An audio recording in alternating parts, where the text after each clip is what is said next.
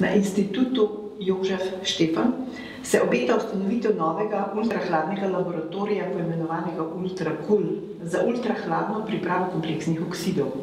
Gre za novost, ki bo možno prvotno, ko bo možno prvotno nezdružljive materijale združiti pri relativno nizkih temperaturah.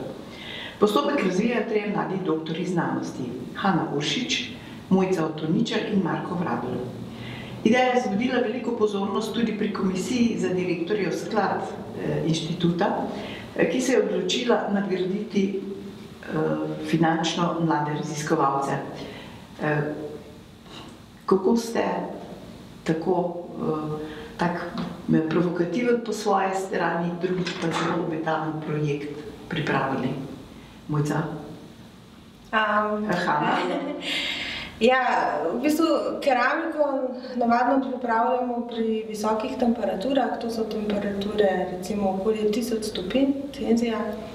Um, mi smo pa začeli razmišljati, kako bi pa to lahko še drugače naredili. Ne?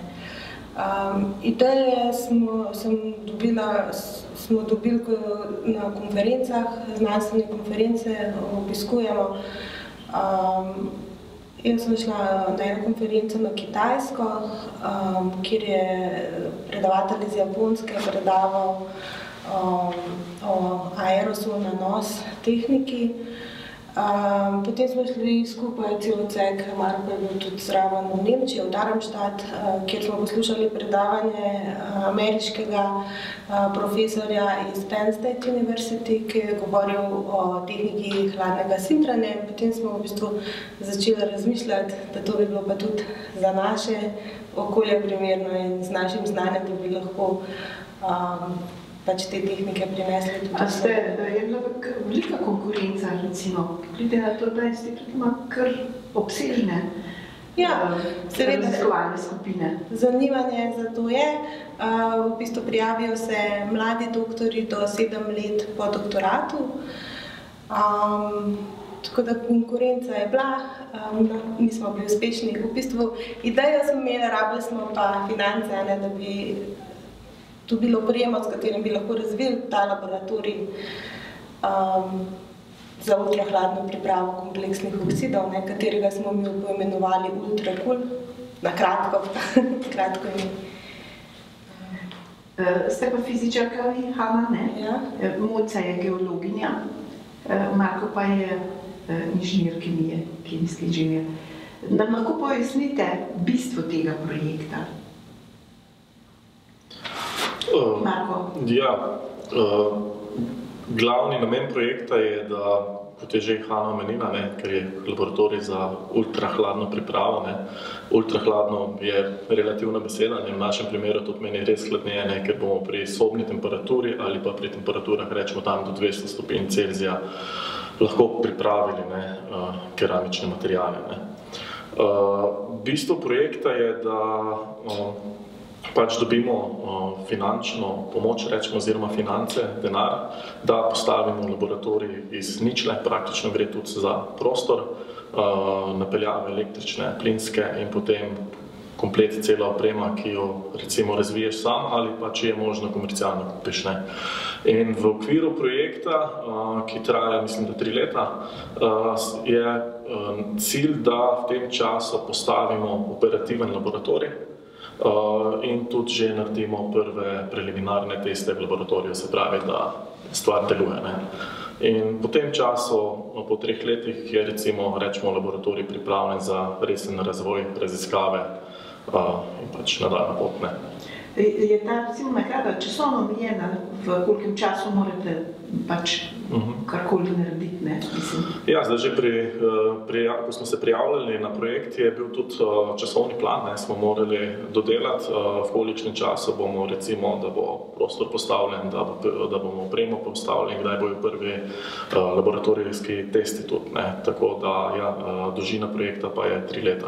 No, mi se mislimo tega plana. Poskušali se ga bomo. Ja, poskušali smo držati, ja, kolikor se le da, seveda.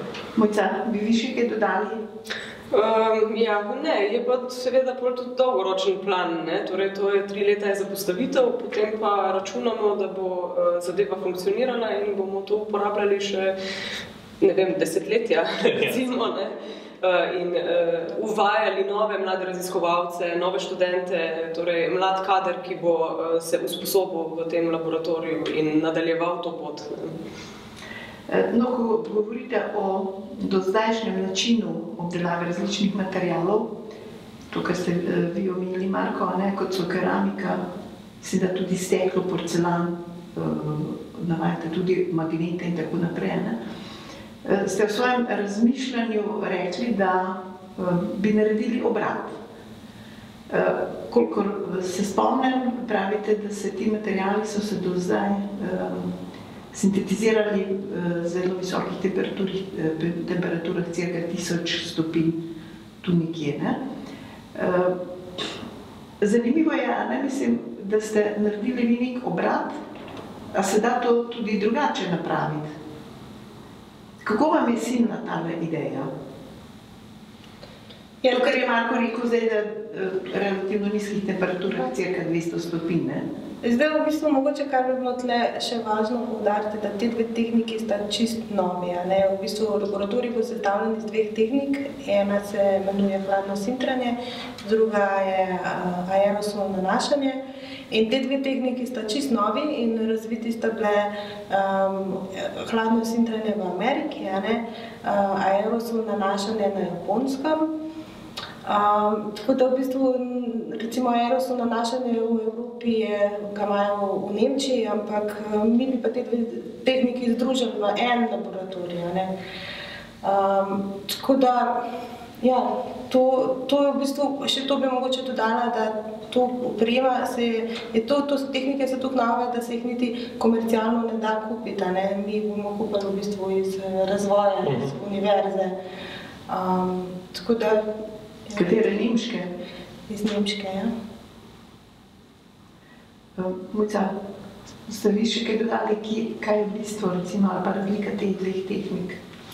Za katero ste rekli, ena na japonskem, ena pa v družini. Ja, zdaj, če same tehnike opišem, torej hladno sintranje gre za volumsko keramiko, torej neke tabletke, recimo kot je to, da pridobimo.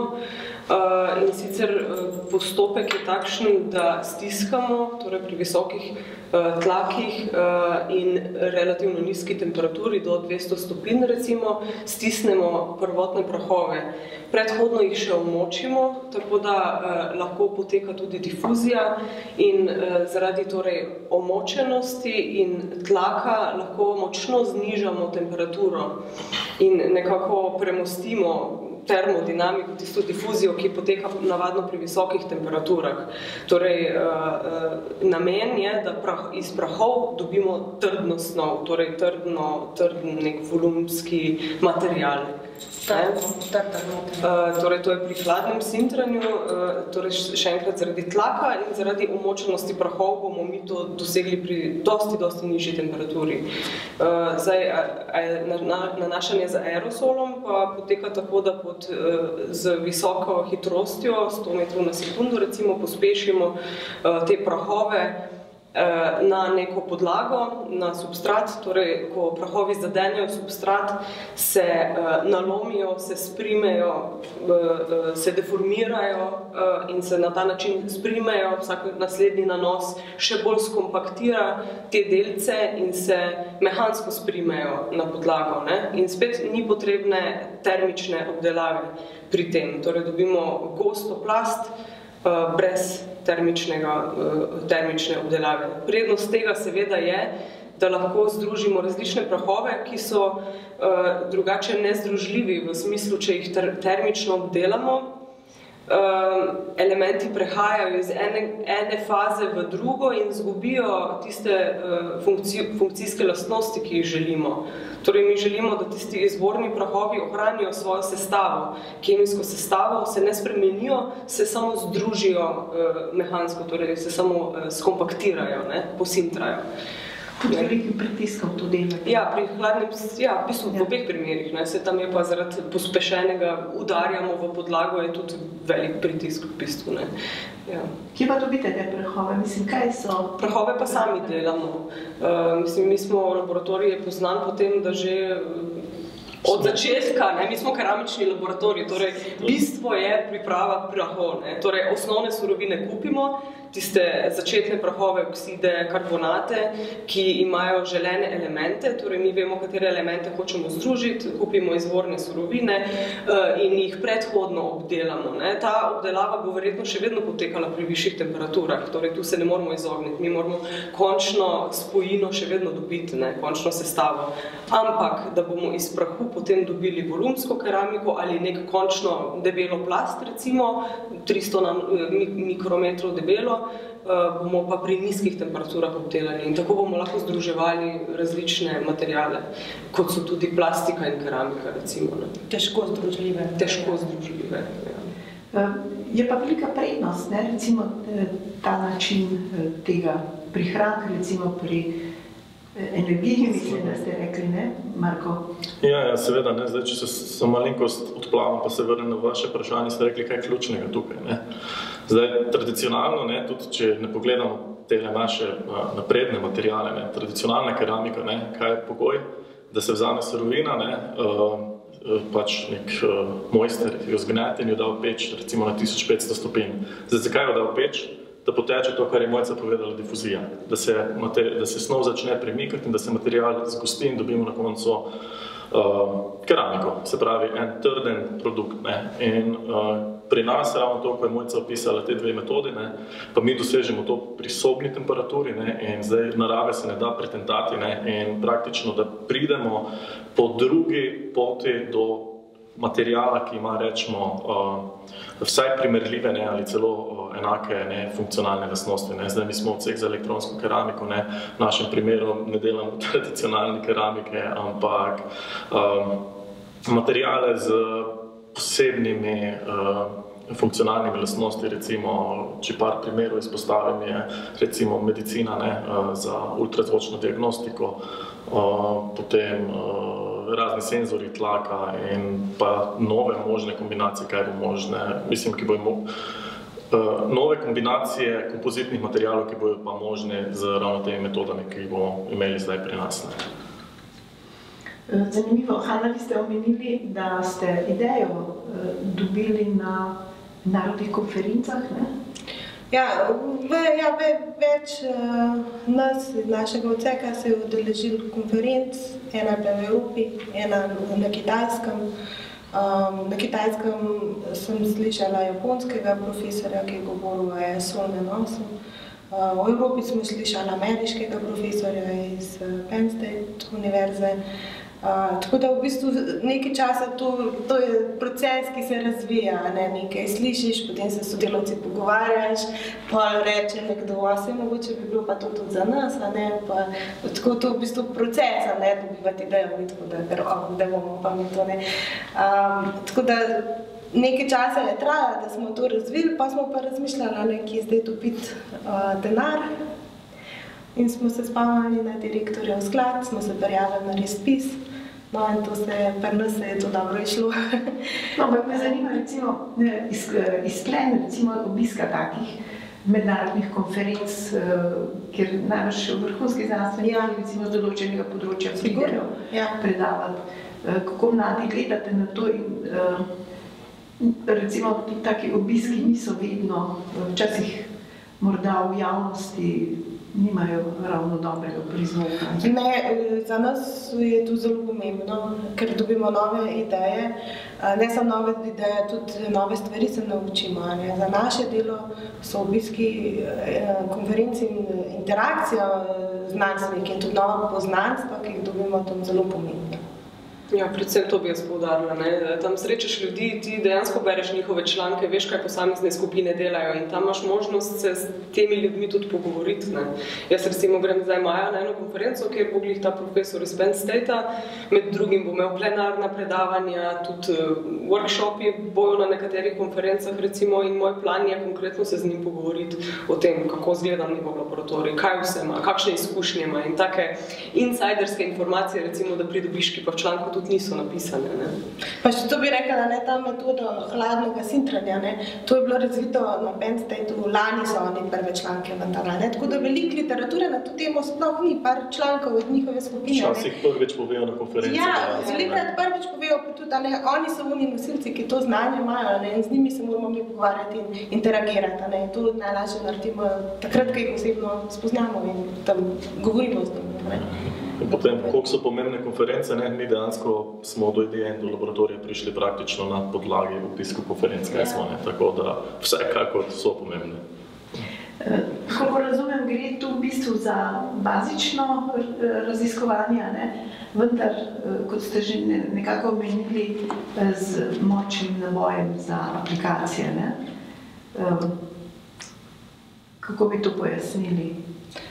Ja, um, zdaj pač um, pri nas delamo tudi uh, veliko aplikativne znanosti, a ne imamo uh, tako um, sodelovanje s slovenskimi podjetji, ne, um, tako da vsekakor bo ta nov laboratorij zelo zanimiv um, za slovenska podjetja, ne, ta, ki že sodelujejo z nami, pa mogoče tudi kakšna, ki še ne, ne.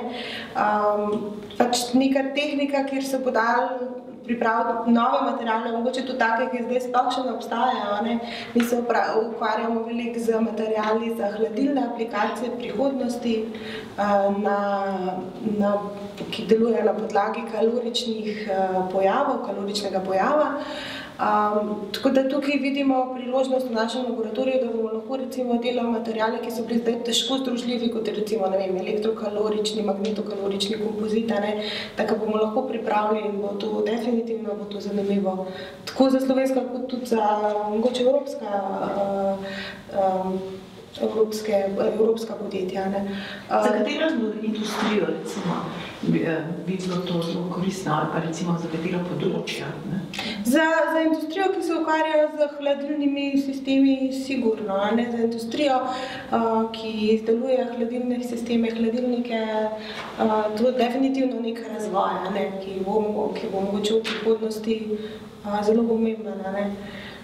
Ja, samo hlajenje pa tudi dosti, dosti drugega zajame. Ne? Recimo ti ravno elektromagnetokaloriki so primerni za hlajenje elektronike. ne. Tako da ni samo hladilna industrija, ampak se pokrije tudi dobršen del elektronskih komponent. Recimo, ne. Uh, pravzaprav uh, Vse veste, dan danes smo z elektroniko, vse posod jo najdemo, ne, tudi potem recimo, ne vem, dizelski motori recimo imajo injektore ne, iz uh, takšnih keram, keramičnih uh, aktuatorjev, piezo elementov in uh, prej sem omenil medicina. Uh, Se pravi, avtomobilska industrija, Ja, avtomobilska industrija, medicina. elektroni, um, pač v elektroniki. a ne. Um, pač dela, delamo tudi druge materiale, ne, za, mogoče za, za senzorje, za aktuatorje, za pretvornike, recimo primer je tako zvočni pretvorniki.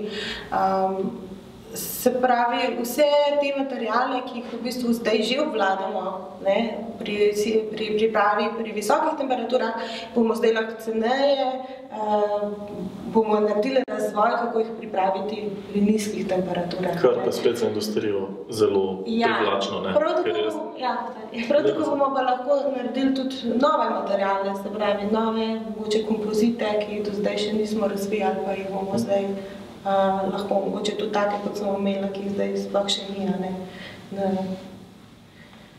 Ja, se je zanimivo, ne? mislim, da imate ambicijo, ne? da bi ta vaš laboratorij UltraCool eh, v okviru instituta Štefanovga eh, postal vodilni v Evropi. Recimo, ne?